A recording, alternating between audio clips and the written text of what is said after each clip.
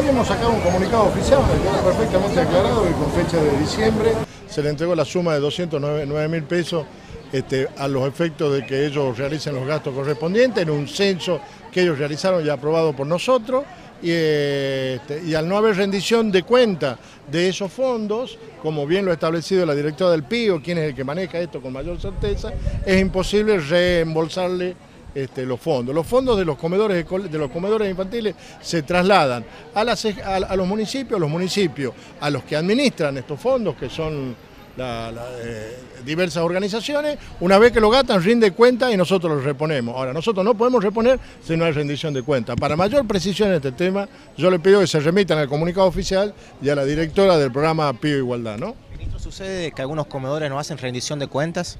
Sí, ocurre, ocurre que tienen dificultades para rendir, algunas veces eh, entendible, otras veces con alguna mora importante, pero está claro que nosotros no podemos reponer fondos hasta que esto no se, hasta que esto no se produzca. De todas maneras, le digo, la provincia tiene una enorme cantidad de comedores este, que está financiando a través de nación y provincia, que a veces pueden ocurrir que algunos no estén funcionando o que tarden en la rendición de cuentas. Está claro que sin rendición de cuentas no puede haber reposición de fondos.